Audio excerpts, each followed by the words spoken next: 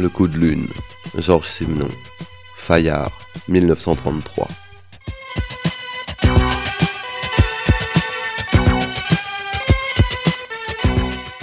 Chapitre 1er. Avait-il une seule raison grave de s'inquiéter? Non. Il ne s'était rien passé d'anormal. Aucune menace ne pesait sur lui. C'était ridicule de perdre son sang-froid, et il le savait si bien qu'ici encore, au milieu de la fête, il essayait de réagir. D'ailleurs, ce n'était pas de l'inquiétude à proprement parler, et il aurait été incapable de dire à quel moment l'avait pris cette angoisse, ce malaise fait d'un déséquilibre imperceptible. Pas au moment de quitter l'Europe en tout cas, au contraire. Joseph Timard était parti bravement, rouge d'enthousiasme. Lors du débarquement à Libreville, du premier contact avec le Gabon, le navire s'était arrêté en rade, si loin qu'on ne voyait de la terre qu'une ligne blanche, le sable surmonté de la ligne sombre de la forêt. Il y avait de grandes houles grises qui soulevaient la vedette et l'envoyaient heurter la coque du paquebot. Timar était seul au bas de la coupée, avec l'eau sous ses pieds, guettant le canot qui s'approchait une seconde pour repartir avec la lame. Un bras nu, le bras d'un nègre, l'avait happé, et il s'était éloigné le nègre et lui, en bondissant par-dessus les crêtes. Plus tard, peut-être un quart d'heure, peut-être plus, alors que le navire sifflait déjà, on accostait une jetée en cubes de béton jetés pêle-mêle les uns sur les autres. Là, il n'y avait même pas un nègre, personne n'attendait personne, rien que Timar au milieu de ses mâles. Mais ce n'était pas à ce moment que l'inquiétude était née. Il s'était débrouillé. Il avait hélé un camion qui passait et qu'il avait conduit au central, l'unique hôtel de Libreville. Un bon moment que celui-là, parce qu'il y avait du pittoresque. C'était bien africain dans le café au mur orné de masques nègres, où il mettait en marche un phonographe à pavillon, tandis que le boy lui versait du whisky. Timar se sentait colon. Quant à l'incident principal, il avait été plus drôle que dramatique, bien colonial aussi. Or Timar était enchanté par tout ce qui portait le cachet colonial. Grâce à un de ses oncles, on l'avait engagé à la Sakova. L'administrateur de la société en France lui avait annoncé qu'il vivrait en pleine forêt, quelque part du côté de Libreville, coupant du bois et vendant de la pacotille aux indigènes. À peine débarqué, Timar se précipitait vers une factorerie miteuse surmontée du mot Sakova. Il s'avançait, la main tendue vers un personnage mélancolique ou dégoûté, qui regardait cette main sans y toucher.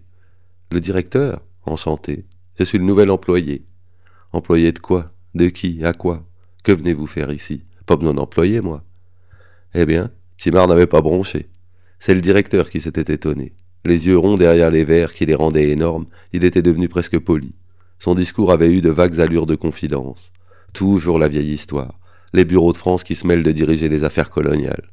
Le poste qu'on avait promis à Timar, il était à dix jours de pinasse, tout au fond de la rivière. Or, premièrement, la pinasse était défoncée, incapable de tout service avant un mois.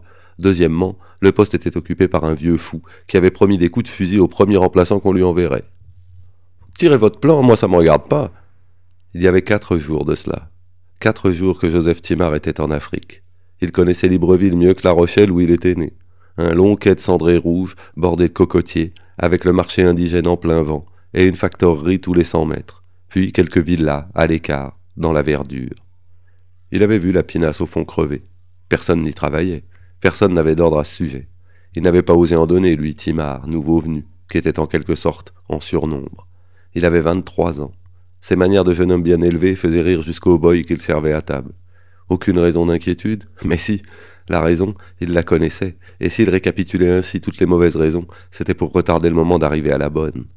La raison, elle était là, comme éparse autour de lui à l'hôtel. C'était l'hôtel même, c'était... Il avait été séduit par l'aspect extérieur du central, une construction jaune, en retrait du quai, à cinquante mètres des cocotiers, au milieu d'un fouillis de plantes curieuses. La salle principale, à la fois café et restaurant, avait des murs très clairs, au ton de pastel, qui rappelaient la Provence, et un bar d'acajou verni, des hauts tabourets et des cuivres qui donnaient la sensation du confort. C'est là que les célibataires de Libreville prenaient leur repas. Chacun avait sa table, son rond de serviette. À l'étage, les chambres n'étaient jamais occupées, des pièces vides et nues, couleur pastel aussi, des lits surmontés de moustiquaires et, au hasard, un vieux bro, une cuvette fêlée, une malle vide. Partout, en haut, en bas, des persiennes closes découpant le soleil, si bien que la maison tout entière n'était que raie d'ombre et de lumière. Les bagages de Timar étaient des bagages de jeune homme de bonne famille, et il faisait un drôle d'effet par terre dans la chambre.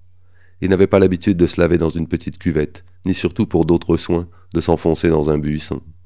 Il n'avait pas l'habitude de toutes les bêtes qui grouillaient, mouches inconnues, scorpions volants, araignées velues. et ce fut la première attaque du malaise sournois qui allait le poursuivre avec la ténacité d'une nuée d'insectes. Le soir, sa bougie éteinte, il continua à voir, malgré l'obscurité, la cage blême de la moustiquaire. Au-delà du tulle, il sentait un vide immense que traversaient les frôlements, des bruits à peine distincts, des vies ténues qui parfois se posaient. Scorpions, moustiques, araignées, sur le tissu transparent. Et lui, couché au milieu de cette cage molle, essayait de suivre les sons, les frémissements de l'air, de repérer les silences subis. Brusquement, il s'était dressé sur les coudes. Mais c'était le matin, les raies de soleil étaient déjà là, et la porte venait de s'ouvrir. La patronne de l'hôtel, souriante et calme, le regardait. Timar était nu, il s'en apercevait soudain. Ses épaules et son torse émergeaient, pâles et moites, des draps fripés. Pourquoi était-il nu? Il faisait un effort pour se souvenir. Il avait eu chaud, il avait beaucoup transpiré. Il avait cherché en vain des allumettes parce qu'il lui semblait que des bêtes insaisissables gravitaient sur sa peau. C'est alors, au milieu de la nuit, sans doute, qu'il avait retiré son pyjama, si bien que maintenant, la patronne voyait sa peau blême, ses côtes qui saillaient. Elle refermait la porte avec une tranquillité stupéfiante. Elle demandait Vous avez bien dormi? Le pantalon de Timar était par terre. Elle le ramassait, le secouait pour en faire tomber la poussière et le posait sur la chaise. Timar n'osait pas se lever. Son lit sentait la sueur. Il restait de l'eau sale dans la cuvette et le peigne avait des dents cassées. Pourtant, il n'avait pas envie de voir partir cette femme en robe de soie noire qui lui souriait d'un sourire à la fois très doux et très ironique. Je venais vous demander ce que vous prenez le matin. Du café, du thé, du chocolat? C'est votre mère qui vous éveillait en Europe? Elle avait écarté la moustiquaire et elle se moquait de lui. Elle raillait du bout des dents peut-être, avec une envie physique de mordiller. De mordiller parce qu'il était différent des colons, parce qu'il sentait encore le lit, l'adolescence bien soignée. Elle n'était pas provocante, elle n'était pas maternelle non plus. Et cependant, il y avait de ceci et de cela. Il y avait surtout une sensualité lourde, qui imprégnait des pieds à la tête sa chair potelée de femme de trente-cinq ans. N'était-elle pas nue sous la soie noire de la robe? Timar, malgré sa gêne, se posait la question. En même temps, naissait en lui un désir aigu, et les choses les plus étrangères à ce désir ne faisaient que le renforcer, comme ces raies de lumière et d'ombre, comme la moiteur animale du lit, et jusqu'à ce sommeil agité qu'il avait coupé de frayeurs inconscientes et de tâtonnements dans le noir. Tiens, vous avez été piqué. Assise au bord du lit, elle posait un doigt sur la poitrine nue, un peu au-dessus du sein, touchait une petite tache rouge et regardait Timar dans les yeux. Voilà ce qui s'était passé. Elle reste, très vite, très mal, sous le signe du désordre et de la maladresse. Elle en avait été aussi étonnée que lui, confuse à coup sûr, et tandis qu'elle arrangeait ses cheveux devant le miroir, elle avait dit Thomas va vous apporter votre café. Thomas était le boy.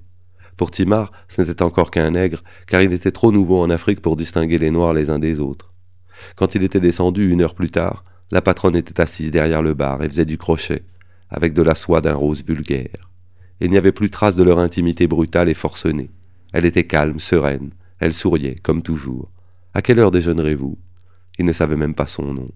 Il était surexcité. Il gardait un souvenir tiède et surtout une sensation de peau douce, de chair pas très ferme et pourtant savoureuse. Une petite négresse apportait des poissons, et la patronne choisissait sans un mot, prenait les plus beaux, jetait dans le panier quelques pièces de monnaie. De la cave surgissait le torse du mari, puis tout son corps puissant mais fatigué. C'était un colosse au geste mou, à la bouche dégoûtée, au regard bilieux. Vous étiez ici? Et Timar rougissait comme un imbécile qu'il était. Cela durait depuis trois jours. Seulement elle ne montait plus dans la chambre le matin. De son lit, il l'entendait aller et venir dans la salle, donner des ordres à Thomas, acheter des provisions aux nègres qui se présentaient. De l'aube à la nuit, elle portait la même robe de soie noire sous laquelle il savait maintenant qu'elle était nue, et ce détail le troublait au point que souvent il devait détourner le regard. Il n'avait rien à faire dehors, il restait là presque toute la journée, à boire n'importe quoi, à parcourir des journaux vieux de trois semaines, ou à jouer tout seul au billard. Elle faisait du crochet, servait des gens qui s'accoudaient un moment au comptoir. Le mari s'occupait de sa bière et de ses bouteilles, rangeait ses tables et de temps en temps envoyait Timar s'asseoir dans un autre coin, avec l'air de le considérer comme un objet encombrant. Tout cela avait quelque chose d'exaspéré, de hargneux, de sombre en dépit du soleil, surtout aux heures lourdes, quand la peau devenait moite, rien que d'étendre le bras. À midi et le soir, les habitués venaient prendre leur repas, faire leur billard. Timar ne les connaissait pas. Il le regardait curieusement, sans bienveillance ni antipathie, et lui n'osait pas leur adresser la parole.